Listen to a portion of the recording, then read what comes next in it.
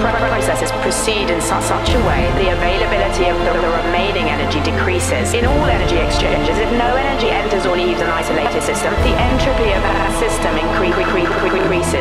Energy continuously flows from being concentrated to becoming dispersed, spread out, and wasted, and useless.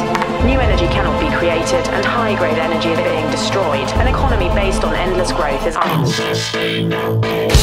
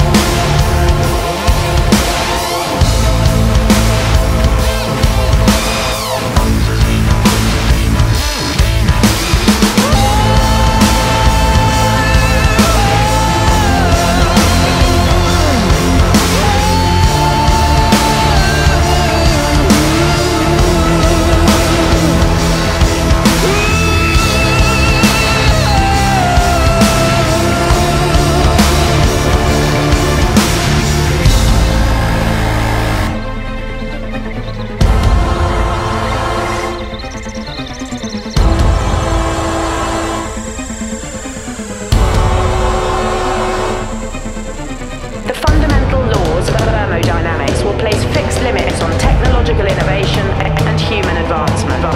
In an isolated system, entropy can only increase. A species set on endless growth.